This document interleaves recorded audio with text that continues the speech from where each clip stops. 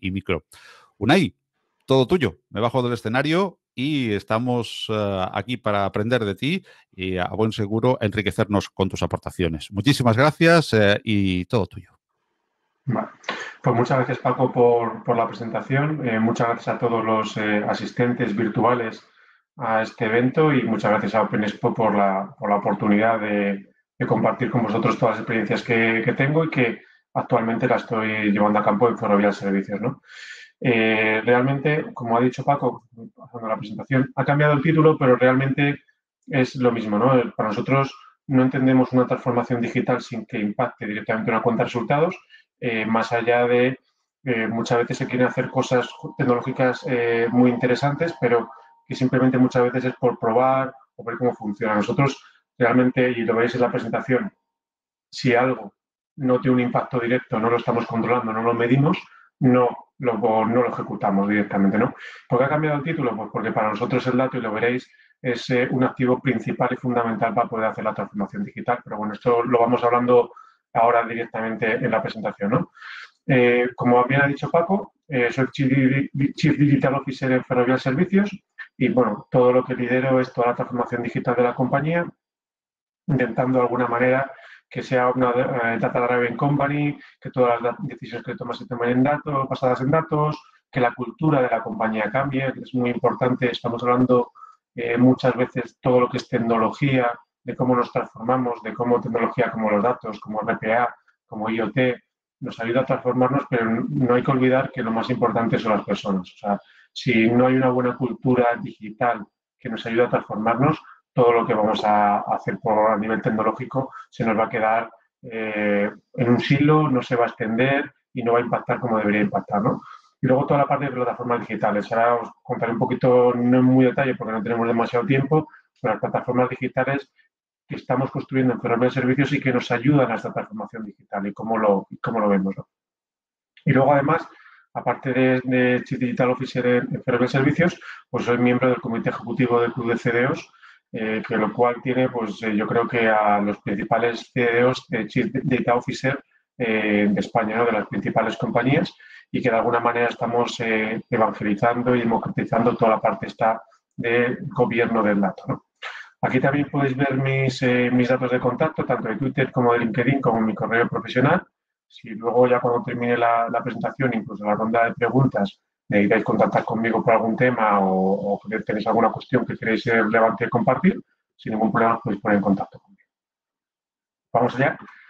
Aquí veis también ya un poco, por entrar un poco más en el tema personal, ¿no? Eh, todo aquello que a mí me guste, que me caracterice, yo creo que nos define como persona, ¿no? Pues por un lado la familia, yo creo que es fundamental, los amigos, la música, eh, el deporte, para mí es algo que necesito hacer en mi día a día eh, y, por ejemplo, es, eh, aquí ves la foto que está abajo inferior en el medio, son mis hijos, que justamente dentro de todo este confinamiento, eh, nació mi hija, mi hija tiene ayer, hizo dos meses, y bueno, es un poco cómo nos vamos transformando, ¿no? O sea, yo creo que también estas imágenes sirven para ver cómo nosotros hemos ido evolucionando a lo largo del tiempo, o sea, por ejemplo, yo en la parte más de música, pues al principio estaba más metido en el, en follón, saltando, etcétera, y ahora poco a poco, cuando vamos haciendo más mayores, pues prefiero estar un poco más alrededor de la barrera. O el deporte, de hacer deporte, carreras más em, explosivas, pues ahora intentar hacer más de larga distancia. O sea, yo creo que todos nos vamos transformando y creo que la información es importante a cómo nos transformamos. Eh, yo, por ejemplo, con mi, con mi segundo hijo, con mi hija, si no tuviese toda la información, toda esta que he tenido ya con mi hijo, eh, no lo haría las cosas de, igual manera. Aquí yo creo que todos los padres y todos los que deben ser vueltos padres, siempre los hijos segundos, terceros, eh, cosas que has hecho con los primeros no las hacen, pero no porque no quieras hacerlo, sino porque ya tienes más información y lo trata de otra manera, ¿no? Y por esto yo creo que la información, el dato, es muy relevante para toda la parte de la formación. Un ejemplo claro lo tenemos a día de hoy eh, con la situación que estamos viviendo con el coronavirus, ¿no? O sea, cuántas empresas no estaban eh, preparadas para esta transformación y les ha costado mucho adaptarse a esta situación, ¿no? Eh, cuánta mala información, se puede decir así, eh, independientemente de la ideología política que se tenga, ha habido con esto. No se sabía, por lo menos en España, cuántos infectados había diariamente, si se reportaban los fines de semana salían los datos incorrectos, etcétera, etcétera. Yo creo que si queremos hacer algo de una manera correcta, tiene que hacerse de una manera eh, con datos objetivos, sabiendo que queremos impactar, midiendo lo que queremos hacer. Eh, no podemos pensar que algo que he definido al principio, si no lo voy midiendo paulatinamente, te darás cuenta de que no funciona como tiene que funcionar, funcionará mejor, funcionará peor y deberemos actuar en consonancia con ello y, y ver si lo tenemos que parar o lo tenemos que arrancar. ¿no? Eh, para nosotros, toda la digitalización es para rentabilizar. no buscamos nada que no impacte directamente en algunos resultados. Es un poco el motivo de, esta presentación. Eh, no algo porque sea bonito, salga las, en las noticias o lo publiquemos, no tiene ningún sentido para nosotros. No vamos a invertir dinero en ello. Somos, en ese aspecto, una empresa más tradicional en el cual lo que buscamos siempre es un, objetivo eh, más directo, ¿vale? Por ello es lo que, lo aquí veis, ¿no? ¿Qué, conlleva la transformación? Pues para nosotros la, transformación es siempre que impacte la rentabilidad de la compañía, siempre que cambie la forma cultural de hacer las cosas, siempre que tengamos este dato como activo principal nuestro y que nos motive a, hacer el cambio, ¿no? Que podamos medir todo, que podamos saber de qué manera lo estamos haciendo, si algo nos interesa más hacerlo de una determinada manera que de otra. Luego, eh, no sé en vuestras compañías o donde vosotros estéis trabajando, pero nosotros hemos detectado que cuando la información va subiendo a más alto nivel, eh, generalmente hay mucha eh, desinformación o mucha discusión interna dentro de los comités de quién trae el dato perfecto, quién tiene la información correcta. ¿no? Y muchas veces perdemos tiempo en primero en decir sobre qué datos, sobre qué información vamos a trabajar. Lo importante es que nosotros estamos trabajando en que toda la información está consolidada y todos hablamos un mismo lenguaje. ¿no? Entonces, eh, si sabemos lo que estamos hablando, sabemos hacia dónde queremos ir, seguro que todos conseguimos hacer una mayor rentabilidad. Entonces, para conseguir esto, lo primero que hicimos en Ferrovial Servicios, bajándolo un poco más a la realidad y no siendo tan teórico, es crear un organismo. Creamos un órgano, que es el Digital Board, el Digital Board lo que pretendimos es que fuese un órgano totalmente transversal a la compañía y en el que estuviese representado toda la compañía. El Digital Board somos 10 miembros, lo cual está representado todas las direcciones de la compañía. Desde las eh, direcciones propias de negocio, nosotros tenemos tres direcciones de negocio propias, eh, hasta todas las que son de back office. Tenemos desde jurídico, recursos humanos, eh, contratación, innovación. tenemos todas las direcciones que están representadas en este Digital Board, que tiene una serie de funciones eh, muy específicas. ¿no? Primero es capturar el valor que tenemos en la compañía, sea, dónde queremos ir, de qué manera queremos hacer las cosas, eh, cómo nos vamos a orientar con el negocio, ¿vale? Eh, no hacemos nada que no pueda afectar al negocio, y entendiendo por negocio muchas veces incluso a nuestros, propios compañeros de back ¿no? Si yo quiero poner un RPA que me impacte en la parte de, por ejemplo, económico-financiero que estamos actualmente haciendo, tiene que estar orientado a él, él tiene que ser el product owner, el negocio tiene que ser quien lo lidere, ¿vale? Tiene que ser ejecutiva, en este Digital War se decide qué iniciativas entran, qué iniciativas salen, qué iniciativas no están cumpliendo con los KPIs inicialmente marcados y tienen que caer. Totalmente objetiva, no, no entramos a eh, me gusta más este negocio o este negocio es el que creo que va a impactar más, no, no, todo está medido, sabemos, hemos hecho un plan de viabilidad, sabemos cuánto va a impactar, de qué manera, en qué tiempo, eh, y, si hay, hay, una desviación en algún aspecto, pues lo tomaremos de una manera totalmente objetiva. Y la última, los últimos dos puntos son más culturales y didácticos. ¿no? El Digital War tiene que ser el que esté a la vanguardia de la transformación digital, el que tiene que hacer de ese canal dentro de su dirección, eh, el propio embajador dentro de esa dirección que hable su mismo lenguaje, eh, que no seamos muchas veces, porque yo pertenezco a, la Dirección de Transformación Digital y Sistemas, y la gente dice muchas veces, pues hablamos un lenguaje distinto al que se habla en los negocios, ¿no? Que sea, este Digital War sea el propio canal que haga de red neuronal en su, en su dirección, Pues como os digo, lo primero por una transformación digital que sea efectiva, nosotros hemos creado un órgano totalmente transversal que tiene eh, todas las competencias para hacerlo. Lo siguiente es tener una estrategia. Si no hay una estrategia eh, digital, es prácticamente imposible llegar a ningún, sitio. Nosotros lo hemos basado en, tenemos cinco pilares digitales, ¿vale? Que son los que estáis viendo aquí, que son la parte de digitalización de equipos e instalaciones, que es todo lo que es eh, sensorizar y obtener información de activos. Puede ser, nosotros tenemos desde contenedores hasta nuestros vehículos, eh, hasta la, las partes que hacemos y mantenimientos, los activos que tenemos ahí, o sea, todo lo que sean activos, tenerlos sensorizados para que nos den información y luego ver cómo poder optimizarlos. Luego también las personas, sin sensorizar las personas como tal, pero muchas veces eh, nos dan determinado tipo de información con los móviles, etcétera, etcétera, que nos, eh, nos permiten optimizar sus, sus, trabajos. ¿no? Luego en, el, la tercera, y es muy relevante, yo creo que es la más amplia, esto todo lo que tiene que ver con datos, datos eh, eh, decisiones basadas en datos, eh, cómo aplicar los procesos, cómo aplicar a la analítica.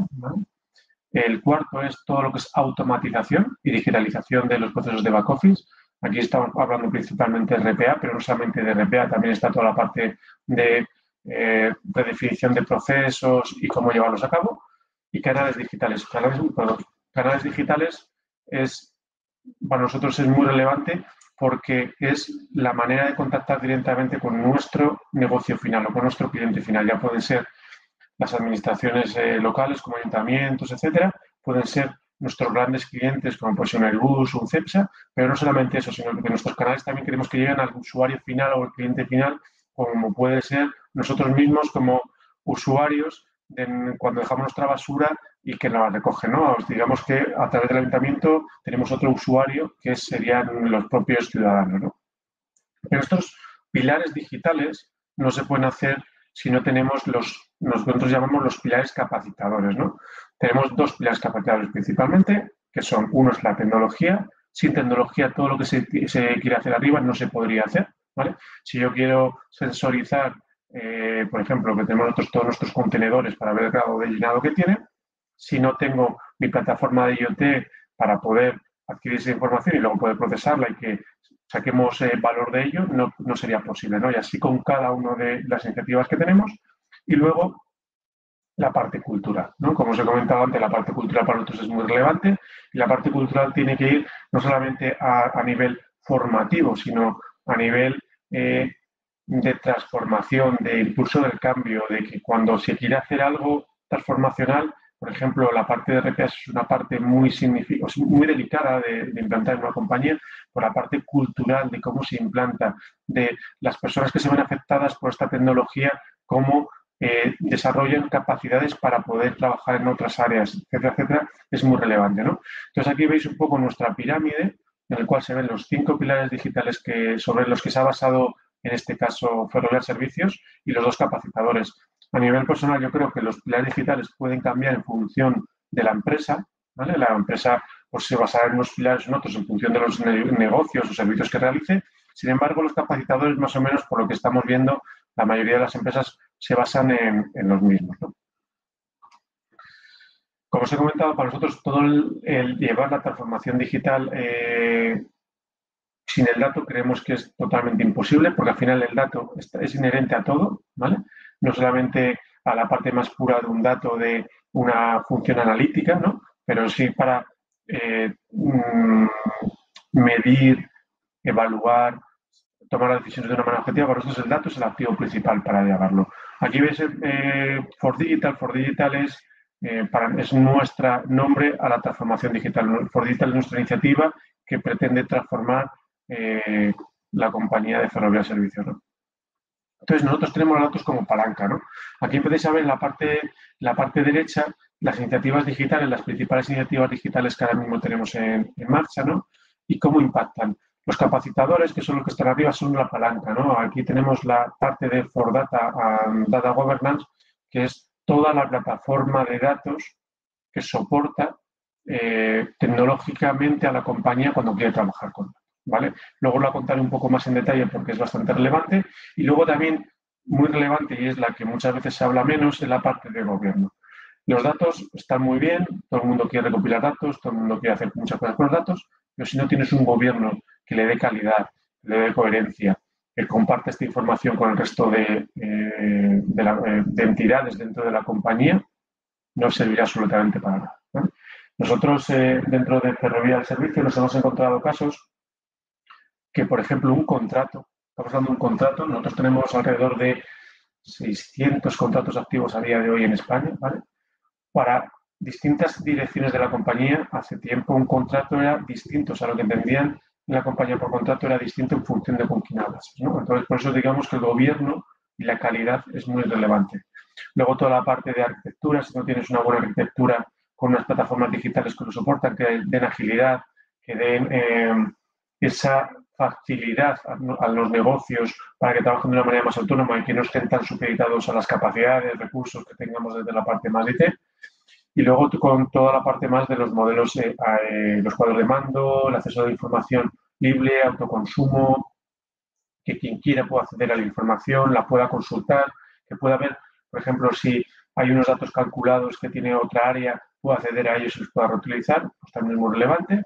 Y luego toda la parte cultural, ¿vale? La parte cultural ya la hemos comentado, fundamental. Entonces, digamos que estas son las palancas para que luego podamos hacer lo que veis en la parte eh, inferior, ¿no? Sin estas palancas no podría, pues, por ejemplo, no podría hacer una optimización de rutas y, eh, y desplazamientos, que esto básicamente es que nosotros lo tenemos muy, muy orientado a la parte de recogida de residuos y que eh, en función del grado de llenado de datos meteorológicos, de datos de la ciudad, etcétera, podemos optimizar nuestros camiones hacia dónde van, ahorrando rutas, ahorrando combustibles, ahorrando recursos humanos para dedicarnos a, otros, a otras actividades, etcétera.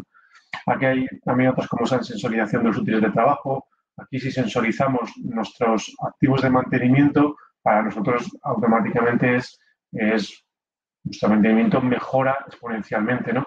Imaginaos que nosotros también tenemos plantas de tratamiento. Plantas de tratamiento, si conseguimos eh, saber que algo va a fallar antes de que falle, no es lo mismo hacer eh, un, eh, un, correctivo, ¿no? Que luego entrar corriendo porque se ha roto algo y nos puede parar la planta, Pues aquí veis, y la optimización de flota, nosotros tenemos a día de hoy alrededor de 8.000 vehículos en España, ¿no? Pues imaginaros todo lo que podemos optimizar con nuestros talleres propios, nuestra flota a nivel de combustible, de mantenimiento de los vehículos, va directamente contra la cuenta de resultados. Luego hay otros que no son tanto de nuestros negocios propios, como aquí tenemos la parte de la función de contratación. Nosotros estamos eh, optimizando eh, a todos los concursos que nos presentamos, ya empezamos a ver a cuáles tenemos que presentarnos y a cuáles no tenemos que presentarnos, en cuáles, pues ya empezamos a saber quién va a ser de nuestros principales eh, competidores el adjudicatario en función de una serie de parámetros, ¿no? Pues cuando van a precio, cuando no van a precio, en función de la localidad, etcétera,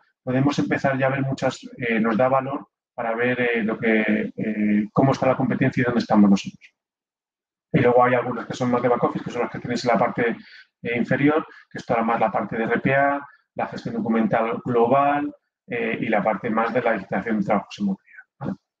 Esto la voy a pasar muy rápidamente, simplemente para que veáis cómo tenemos nosotros todo lo, lo, lo, categorizamos y en este caso qué grado de qué peso tienen los datos de iniciativas, lo vemos en la parte superior, se ve cuánto de protagonismo tienen los datos de iniciativa y abajo un poco las integraciones que se tienen que tener. Esto nos permite pues, priorizar, poner más recursos, poner más foco. ¿no? O sea, si todo lo tienes cuantificado a la hora de las iniciativas, por tu transformación, tu plan de transformación digital, podrás dedicar aquellos recursos que sean necesarios en el momento que sea adecuado. ¿no? Aquí tenéis un ejemplo y este es otro ejemplo. ¿no? Aquí, por ejemplo, eh, esto se ve, nosotros lo tenemos para ver en cada momento dónde tenemos que poner todos nuestros recursos allá. Nosotros toda la transformación digital creemos que tiene que hacerse de manera Agile, pero como en todas las casas, los recursos son limitados. no podemos, eh, nosotros tenemos el Code, dentro de mi equipo tenemos Scrum Master, pero hay más iniciativas y más capacidad fuera que dentro generalmente. Entonces lo que intentamos es ver qué iniciativas pueden ir eh, de su mano con un soporte puntual, ¿vale? Y otras iniciativas que directamente nosotros mantenemos todos los recursos para eh, impulsarlas eh, y que salgan correctamente, ¿no? Y lo hacemos de una manera totalmente objetiva. Aquí lo estáis viendo, ¿no? Medimos el time to market, las que tienen un time to market menor automáticamente las ejecutamos.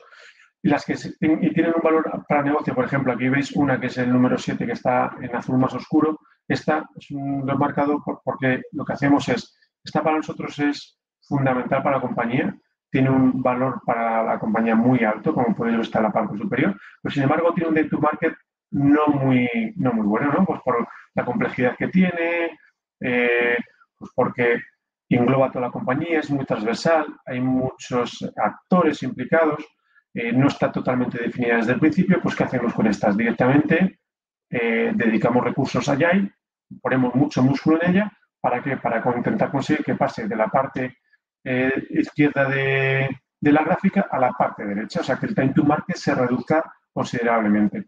Pero como os he dicho, todo siempre midiéndolo. Lo vemos de manera objetiva, vemos dónde hay que poner los recursos y de esa manera dedicamos aquellos recursos que no son infinitos, los recursos finitos que tenemos, los dedicamos donde mejor pueden actuar. ¿vale? Estos son dos ejemplos para ver cómo el dato o la, parte Agile eh, la, implicamos dentro de nuestras iniciativas digitales. Pero, eh, como os he comentado, nosotros queremos transformar la compañía hacia una transformación data driven, ¿no? que la compañía todo se tome, todas las decisiones se tomen basadas en datos y para ello lo hemos basado en tres ejes principales. El primero es la organización. La organización tiene que contar con, eh, no solamente con recursos eh, de datos, como pueden ser los científicos de datos o los ingenieros de datos, tiene que contar con una cultura del dato. Una cultura del dato que todo el mundo en cuando vaya a hacer algo primero lo evalúe objetivamente, lo pueda medir, lo pueda seguir, no tenga que estar eh, pidiendo información en cascada para poder ver una información, que tenga cuadros de mando generalizados, ¿no? O sea, que la organización tiene que estar preparada para ello. El siguiente es la plataforma. O sea, si no cuentas con las plataformas tecnológicas para poder suministrarlo, es totalmente inviable. Para nosotros este ha sido el reto de los últimos año y medio, todavía no está finalizada, pero tenemos una plataforma que se denomina Fordata, que ahora os contaré un poquito más en detalle, en la cual es la, el core de la transformación digital de la compañía. O sea, todo lo que se transforma en la compañía pasa por la plataforma, porque está integrada toda la parte de IoT, porque tiene toda la parte de datos, porque tiene toda la parte de autoconsumo, porque tiene toda la parte analítica, o sea, todo aquello que se hace de transformación, como siempre tiene datos, va a pasar por la plataforma.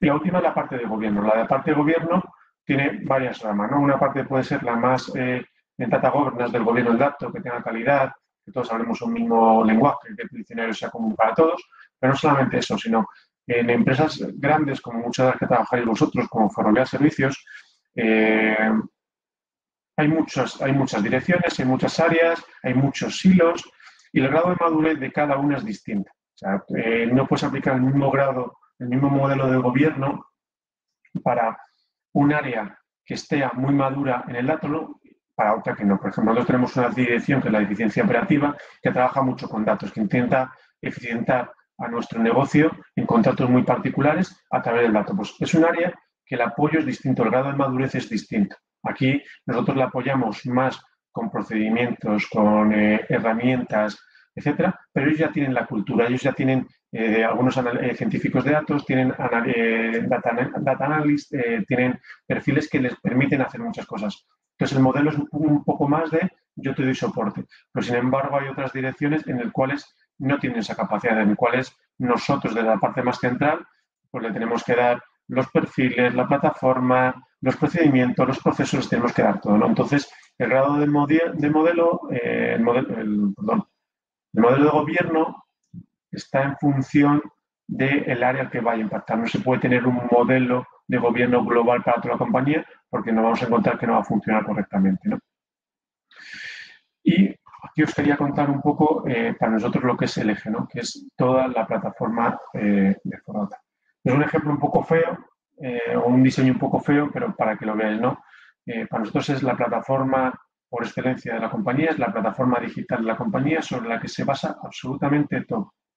Todo aquello que se quiera transformar está aquí dentro. En la parte inferior izquierda, en la parte inferior, en la parte gris, es toda la información que tenemos. Aquí está eh, desde nuestros propios sistemas. Aquí lo que se quiere representar de alguna manera son todos los sistemas que tenemos, cómo vuelcan información, pero no solamente en nuestros sistemas. Lo que queremos es aquí están, hay eh, la parte toda de, de, IoT, está toda la parte de Open Data, están sistemas que son externos a nosotros, pero que nos vienen bien para interactuar, también están aquí. Y luego está todo el core, que digamos que es la parte amarilla, que es todo el for data, que aquí es donde ya empezamos a trabajar con los datos, los calculamos, los modelamos, eh, los almacenamos. Eh, esto, toda la plataforma está en, Azure, ahí veis el simbolito de, Azure. está, está, diseñada para ser multicloud, aunque a día de hoy únicamente lo tenemos trabajando dentro de, de Azure y lo hemos intentado hacer lo más agnóstica posible. A día de hoy creo que solamente estamos dotadas en menos de un 10% a, a, en este caso, a Azure. En el caso que nos queramos mover a cualquier otra plataforma, va a ser prácticamente, prácticamente eh, inmediato.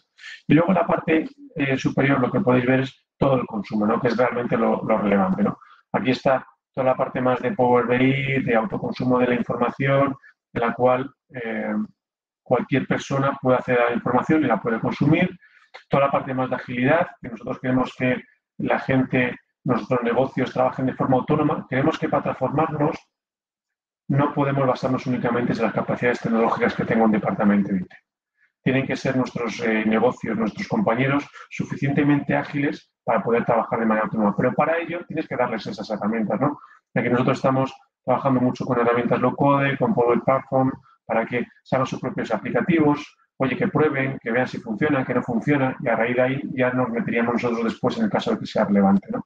Y luego ya toda la parte de modelos analíticos, que estamos empezando a extender, cómo se gobiernan, eh, que sean coherentes con la estrategia de la compañía, que lo que se hace en un área sea conocimiento de otra, que el conocimiento sea compartido. ¿no? Pues todo esto que os estoy contando es la plataforma For Data que, como os he comentado, para nosotros es nuestro core, ¿no? Aquí todo pasa por ahí. Y luego el modelo de, transformación es, eh, digamos que todo el mundo, no os voy a contar nada que no conozcáis, ¿vale? Porque no hay, eh, no hemos descubierto la rueda, es algo que todo el mundo hace y es un modelo al final es de, es de, funnel, ¿no? Es de, embudo, ¿no? Tenemos al principio muchas iniciativas, luego pasamos al piloto, luego se escalan y luego se explotan. Lo que tenemos es un modelo de trabajo distinto en función del estadio en el que nos encontramos. Y para pasar de un estadio a otro hay una serie de reglas muy definidas. Nosotros para que algo lo pilotemos tiene que venir con una idea, no nos vale con que alguien venga y nos diga eh, tengo esta idea maravillosa que va a impactar la cuenta de resultados. No, tienes que haberte trabajado, con nuestra ayuda seguramente, pero tienes que haberte trabajado, tienes que haber hecho un plan de viabilidad, tienes que ver cómo impacta la cuenta de resultados, cuántos recursos vas a necesitar, si son solamente tuyos, si son de, otras áreas, etcétera, etcétera. Luego el pilotaje eh, también va basado eh, con unos KPIs muy marcados. Para nosotros, eh, un piloto por sí mismo se ve si funciona, pero vamos a ver si funciona porque se han definido unos KPIs en la parte de ideación que tiene que cumplir el pilotaje. Si el pilotaje no los cumple, automáticamente se desecha. Y luego a raíz de aquí va toda la parte de escalado y va toda la parte de ejecución. Aquí lo principal es el seguimiento que se le haga, cómo se va a medir todo lo que se está haciendo, de qué manera vamos a hacer el seguimiento. Nosotros aquí tenemos no solamente el órgano del Digital Board, que digamos que es el de más alto nivel, que hace un seguimiento eh, principal y es el que toma decisiones sobre todo con iniciativas muy, muy importantes, con un presupuesto muy elevado, pero luego hay distintos órganos eh, a nivel de producto a nivel de comité de proyecto, que hacemos un seguimiento muy periódico, semanal o quincenal de cómo van todas estas iniciativas, de cómo van evolucionando, si van cumpliendo con la planificación eh, eh, prevista, si hay que darle una vuelta, si hay que meter más recursos, de tal manera que continuamente estén entrando y saliendo iniciativas de nuestro proceso de toma de decisiones. Cuando comenzamos, hicimos un proceso de ideación muy fuerte, Empezamos con alrededor de, creo que eran 225 iniciativas, pero con 225 iniciativas no podemos es demasiado. Entonces empezamos a, primero pues por impacto, pues por los negocios que querían que, impulsar, que lo impulsaban más, eh, por si teníamos recursos para hacerlo, etcétera, etcétera. Y al final nos hemos ido quedando, eh, lanzamos alrededor de 27 iniciativas y estas 27 iniciativas, algunas han caído, las han incorporado otras nuevas, ¿no? Entonces, es muy importante para una transformación digital exitosa que se haga este seguimiento y que no se haga cada seis meses. Nosotros eh, tenemos, eh, en función del órgano, tenemos semanales, quincenales o mensuales, se está revisando eh, todo lo que se está corriendo dentro de la transformación digital. Y aquí hay otro punto muy relevante y es cómo se cuenta la casa y cómo este órgano se entera de todo lo que ocurre dentro de la casa a nivel de información. Porque muchas veces con 40.000 personas trabajando se hacen pequeñas cosas que el resto de la casa no conoce. Ese es el reto más importante que tenemos, que no, sea, no hay iniciativas aisladas, que no se conozcan, que todo sea eh, compartido, que no haya silos. ¿vale? Entonces, este órgano y estos distintos órganos más pequeños que tenemos son los que nos permite hacer esto. Y yo voy terminando, aquí es la última parte, es eh, que todo esto eh, no va de tecnología. La tecnología está muy bien, ¿vale? pero la tecnología a día de hoy está disponible para todo el mundo, sea más complicado o menos complicado montarlo, tendrás que adaptarte a tus circunstancias, a tu presupuesto, a las características que tengas dentro de tu compañía, pero lo importante es la cultura, ¿no? O sea, si no transformamos culturalmente a la compañía, yo puedo un piloto ser ver que nos funciona muy bien y decir, ostras, esto es maravilloso y va a impactar bien, pero si no consigo escalarlo, no va a servir absolutamente para nada. Y para escalarlo, tienen que meterse personas, tienen que cambiar culturalmente, tienen que trabajar de una manera distinta y esto es muy relevante. O sea, pensar que la tecnología está ahí y que es uno de los capacitadores fundamentales, pero que si no nos apoyamos en esa transformación cultural digital, no conseguiremos eh, nada. Y por mi parte nada más. Eh, como ha comentado Paco, eh, está ahora la parte de preguntas que yo creo es más relevante. Cualquier duda que tengáis acerca de vuestros procesos o algo que queráis hacer, ha abierto completamente a, contestar a lo que necesitéis. También aquí volvéis a tener mis datos personales eh, para cualquier duda más allá de lo que pueda saliros ahora en el futuro, también me podéis contactar. Pues muchas gracias. Muchísimas eh, gracias a ti, Unai, eh, por habernos ilustrado y la última parte, mientras a nuestros asistentes se, animan a, preguntar. Eh, repetimos eh, que hay tres eh, vías fundamentalmente. Si alguien quiere levantar la mano, tiene un, botoncito para levantar la mano y lo pasamos directamente al escenario para que pregunte. Y si no lo quiere hacer poniendo su, su cámara o su micrófono, pues simplemente en el apartado de QA que está en el chat, el tercero de ellos, puede dejar su pregunta y a buen seguro que Unai pueda, aparte de dar las gracias eh, que nos están dando por el, por el chat. Gracias a vosotros eh, por vuestra asistencia también y como decía, Unai a buen seguro la, la puede responder.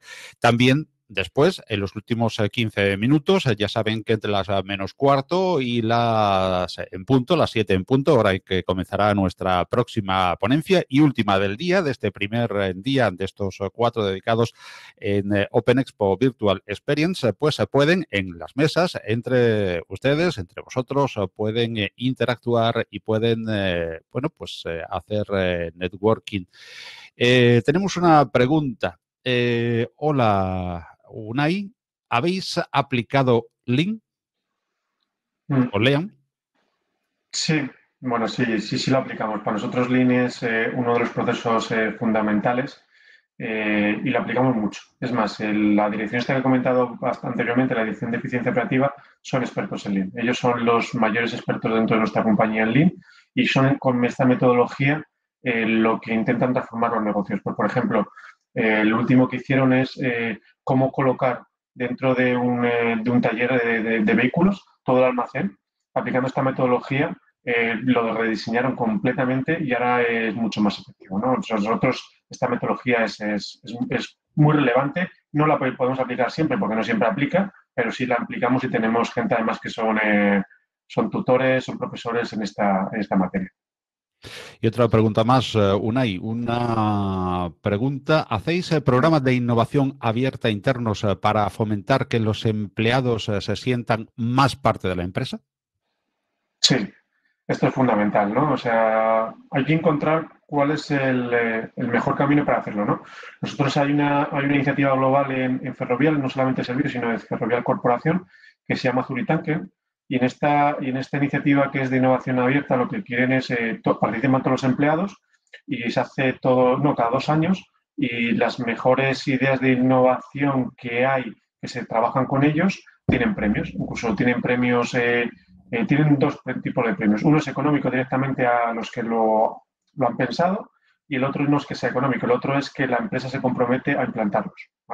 De esto han salido varios casos eh, bastante chulos en, la casa y, funciona bastante bien. Y luego, nosotros internamente en Ferrovial Servicio estamos lanzando distintos tipos de canales en los cuales hay una plataforma que estamos para próximamente lanzar, eh, en el cual todas las personas pueden poner ideas, eh, qué se puede desarrollar. Y lo importante de esta plataforma no solamente que yo ponga mi idea, sino que yo puedo colaborar en ideas de otras personas y las puedo dar matices, las puedo dar más, eh, más contenido o las puedo dar ese valor eh, que tiene cuando trabajan muchas, muchas personas en, una, en una misma iniciativa. Pues eh, de momento no tenemos más preguntas eh, en el apartado QA del chat, pero como decíamos eh, antes, pues aún, aún nos queda una más. Acaba de entrar una más, nos quedaba tiempo. ¿Cómo trabajáis con proveedores? ¿A través de retos? Imagino que se refiere a proveedores en la parte más de innovación, ¿no? con proveedores trabajamos, trabajamos de, de muchas maneras, ¿no? O sea, es cierto la parte que comentas de retos, cuando nosotros tenemos hay proveedores a nivel de transformación digital que están completamente ahí, algunos que están muy establecidos, ¿no? Entonces, por ejemplo, el proveedor que nos mantiene o que es el principal de la parte de For Data es un proveedor y ese no trabaja de ninguna otra manera más que como un servicio en lo que tenemos. Nosotros con los proveedores sí trabajamos con retos cuando, eh, generalmente en dos, de dos maneras. Uno, cuando queremos evaluar a, una empresa, ¿vale? Pues queremos ver su grado de madurez en alguna tecnología y cómo lo implanta, pues aquí sí se le ponen retos. Y luego también, cuando tenemos algún problema que no podemos resolver nosotros internamente dentro de la casa, entonces con distintos proveedores les lanzamos retos. Pero luego tenemos ya, cuando empiezan a trabajar de una manera eh, asidua en modo servicio, directamente ahí ya es eh, trabajo habitual y normal como cualquier otro proveedor. Pues eh, repasamos, eh, nos aclaraba Antonio que hacía la pregunta de que eh, para innovación, eso es, eso es. Pues hemos, eh, hemos oído ya la, respuesta de UNAI, al que agradecemos el haber estado este tiempo con nosotros y recordamos eh, que va a estar también en el primer piso, en la mesa llamada QA, eh, dentro de un momentito, dentro de escasos dos minutos, para poder hacer directamente pues, con él todas las preguntas que quieran, para simplemente charlar y para poder, bueno, pues hacer cualquier tipo de observación, sugerencia o, como decíamos, pregunta sobre esta interesante ponencia eh, que nos ha ofrecido hoy en esta primera experiencia virtual de Open Expo Europe Virtual Experience 2020, que, como decíamos, ha cambiado ligeramente de, título. Eh, el, dato como activo principal para la transformación, aunque también podemos aplicar el que había en, la agenda transformación digital real eh, impacta en la cuenta de resultados. Una y Chef Digital Officer em, de Ferrovial Servicios. Muchísimas gracias por haber compartido este tiempo con nosotros. Muchísimas gracias eh, por haber dedicado este tiempo para instruirnos, enseñarnos y compartir eh, toda esa experiencia acumulada. Muchísimas gracias a vosotros, Paco, a Open por la oportunidad que yo creo que es muy relevante y que se haga este esfuerzo de hacerlo virtual, ¿no? que no es, no es igual que hacerlo físicamente, pero tiene otras ventajas como que puede haber más gente oyéndonos a otro lado del charco, ¿no? Y es mucho más, eh, mucho más internacional. Efectivamente, saludos, uh, se nos saludaban hace poquito desde Argentina, Colombia, Brasil, Panamá y eso, bueno, pues eh, perdemos un poco ese contacto físico que hemos perdido todos eh, por este, esta pandemia, pero ganamos también en este, en este aspecto. Pues, Unai, te invitamos a que ocupes esa mesa QA. Eh, nosotros invitamos también a quien quiera compartir con UNAI que la ocupe dentro de prácticamente nada, de un minuto que vamos a dar por concluida esta ponencia. Y por supuesto, quienes no quieran y quieran interactuar entre ellos, hay un momento para networking en cualquiera de las mesas. Eh, pueden buscar a conocidos, a gente pues, que está compartiendo con nosotros eh, esta eh, primera versión eh, virtual eh, de Open Expo y que tienen las mesas a su disposición pues para interactuar, para el networking, que a buen seguro saldrán buenas sinergias y buenos conocimientos, igual que los que nos ha compartido Unai Ovieta. Muchísimas gracias, Unai. Muchas gracias.